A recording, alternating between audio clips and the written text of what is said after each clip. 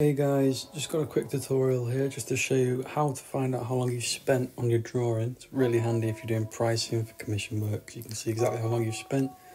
So uh, just go over to your wrench icon, hit on uh, canvas, just head down to canvas information.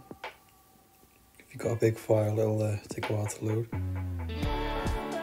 Just hit on statistics, just wait for that to load and you'll see all your information here on the right how long you've spent, you see the size of the file, and you see all the marks that you've made. In my case, it's dots. I do a lot of dot work drawings, so it's really handy to see exactly how many dots I've done. Cheers, guys. If you uh, wouldn't mind, just consider subscribing. I'm a small channel, just starting out, and I'd really uh, appreciate it. Cheers.